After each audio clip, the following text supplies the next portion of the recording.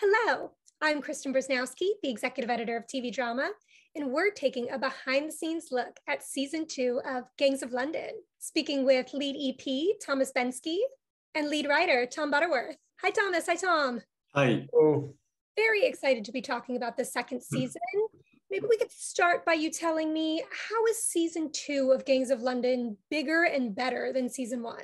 Look, I don't know if, if big or better. I think the big difference, you know, for us was that obviously with the success of season one, I think we we we knew we could be ambitious and we knew we could push. And I think that confidence, I think, kind of put both pressure, but also because obviously we wanted to to do to make something outstanding, which I, I really hope audiences feel we did. But it was just, I guess, about you know trusting our instinct a lot, and I think kind of being able to to try to bring to the screen the kind of gangs of London's we all kind of trying to create. So so I think that was the the big thing for, for the second season. Yeah, I mean, I was definitely hoping it would be as big and as good as season one, and um, probably not the best judge of that. But yeah, I mean, I think we did.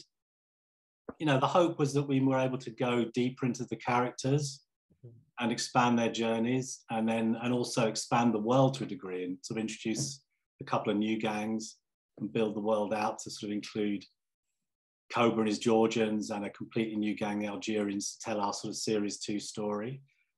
And also to sort of go vertically up and, and understand the investors a bit better and sort of um, painting that really mysterious sort of entity as it was in the first season. Um, and yeah, that was our sort of, that was what we were shooting for.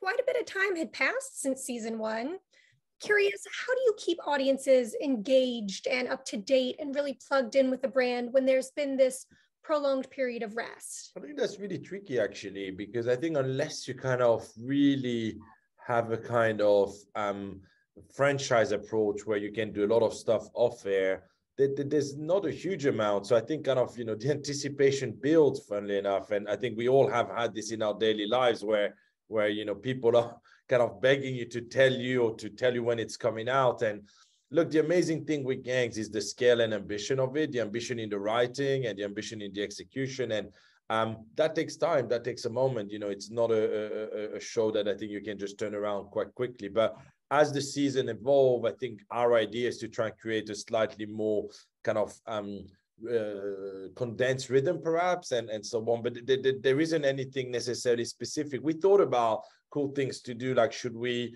are there kind of storylines that we could uh, explore and so on but maybe in the second season is a bit early but if the show keeps growing i'm, I'm sure there'll be a bit more world building which we can do off air while the seasons kind of are, are being made now in terms of writing tell me about some of that world building and those character journeys that being conveyed in season two I mean, I think we were definitely, our, our starting off point was quite early on. We decided that there was still an awful lot of story potential in where we had left off at the end of season two. That those explosions at the end of series one, we felt like a lot of our characters would still be burning.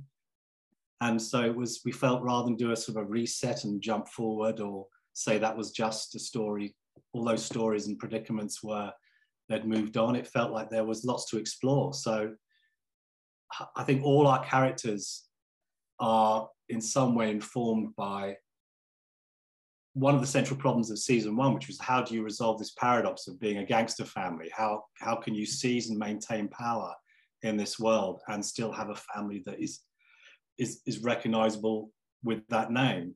Um, and I guess within that, we sort of, it's very much an, sort of an ensemble piece. One of the things I loved about the season drew me to sort of get involved with season two but it felt like those central journeys of of Elliot and Sean felt like they they were going to be shaped off what had happened in season one, and Elliot felt like he was on a journey from troubled undercover cop to troubled gangster eventually, and it was kind of our job to to make sure that by series end of season two he had taken a place in a place you would never expected him to at the beginning, but that it somehow felt inevitable it was surprising and inevitable that he should be there.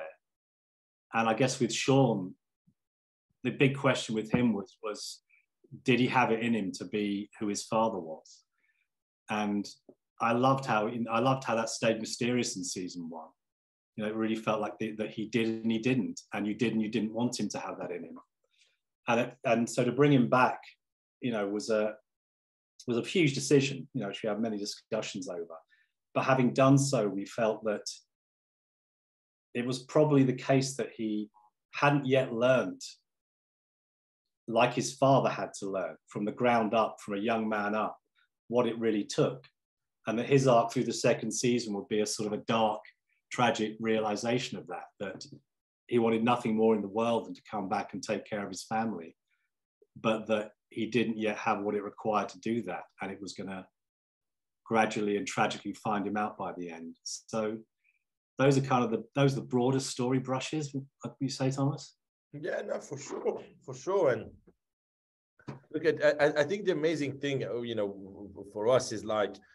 Uh, the thing we found on this season is is is, is I, I think people love the characters and I think one of the amazing thing of, of working with Tom is how easily he kind of managed to find a voice of those characters. I think one of the great thing was to be able to really kind of connect with with really the kind of you know very primal relationships that exist or conflict that exists inside inside inside those those characters. And I think that's the reason the season kind of was received so well is I think people could really kind of empathize, sympathize, um, uh, and, and and and kind of feel the kind of emotions our characters had. So and and and look, this is this was always the ambition, right? Like it's quite a novelistic kind of you know without sounding pretentious, uh, Shakespearean shape um, show that kind of you know trying to kind of combine that kind of extremely deep character work with a very kind of um kinetic genre lens of like action and so on. And i think that's what we all love is the kind of high and low nature of the show that that we can explore. Was there anything that was learned from season one either audience reaction or production feedback that informed season two? And even including with the writing? Don't shoot in kent in december. I think that was a big one. Actually to be honest I, I would correct shoot in kent in december if you're trying to blow something up.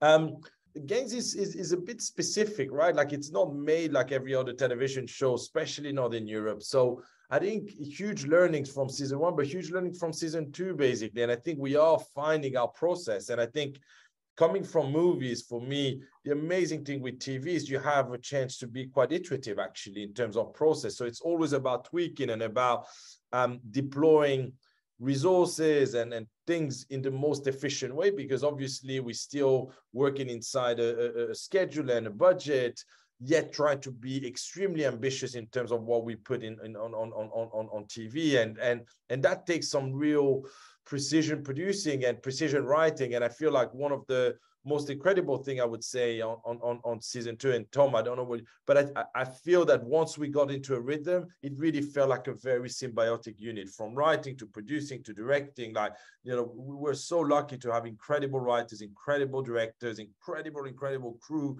that kind of went all the way, and of course our stellar cast. And I think. The, the biggest lesson is in a show of this size, galvanizing that momentum and bringing everyone in that journey um, is, is, is the task. And frankly, it starts with the confidence and quality of the writing, which Tom um, did brilliantly at. So I agree with the what Tom was saying at the end there, which it did feel like it's it was we were finding way we were finding the best way to do it as we went along, as as, as you often and most usually do mm. in sort of making this series telly. But it was particularly the case, I think, because the the, reason, the main reason I wanted to sort of get involved with the show was because it felt quite rare mm. as a director sort of driven piece. You know, so much of what is on telly is kind of show run by writers, and I and I think what so one of the most distinctive things about the first season was it was properly cinematic and it was clearly you know it wasn't beholden to anything other than trying to be full on cinema on the telly and it worked and i think therefore sort of the, the further we got into the process and almost the closer we got to shooting it you could see it as storyboarded sequences and we had a sort of flavor of what the episodes were going to sort of come at you as cinematically, that it sort of can, it gelled. It started to feel like, oh, we know what we're doing now. And I think about a third of the way through, that was the case. And and you know, don't forget that we were we were leapfrogging around COVID the whole time as well. So it also meant that it was um, it was maybe a bit more convoluted than it needed to be. And the only thing I would uh, say is, I think, kind of as Tom said, is I think Gareth Evans and Matt Flannery, the two creators, I think gave permission to be ambitious like this. I think they and, and to be frank, Sky, AMC, everyone understood that, and I think gave us the confidence to shape it the way Tom explained. And and I think really you you can't take away the fact that you know Gareth and Matt are so specific voices, and for me it was absolute honor to kind of birth that project. And I feel we all feel a certain sense of duty to these guys to make sure that we kind of you know pick up the baton or whatever you say in english to kind of continue the, the legacy of the show and but but i think we can't underestimate how important it was for them to to to to to to to to set this up in a way that gave everyone the confidence to be able to continue with that ambition, which is kind of quite, as Tom said, unconventional, I would say, in in, in kind of you know TV terms. So yeah. Now, in a time when there is much talk about leaning into the lighter side of drama, season two seems to double down on some of those darker aspects and violence. Tell me about that mix of dark and gritty and action and stunt work that the viewers are really responding to. Yeah, we didn't really look at that memo, did we? The no, no. I, I, think this is. I don't think we have a task ourselves with with the warm and the fuzzy, upping all that. I, I think it was, if anything, it was the opposite. I mean, one thing that's definitely different, I think, with season two is that this sort of the action palette, this sort of the intensity of that just has a different flavor because it's it's it's Corin who is sort of behind a lot of that, and his background is just more horror than mm-hmm. maybe Gareth was. But um, you know, Corin and Gareth were good friends, and so they were definitely sympathetic about what the whole show was and how that would fit into, you know, the conception of the whole show happily. Mm-hmm. But it's not, he didn't use less blood than Gareth. It's also kind of, you know, of course we interrogate all of this. I think Tom is right. Like what I love about the season is that it is quite directorially focused. Like it is very much in terms of execution, especially that kind of more visual work. It's very much Corin's palette, to Tom's point.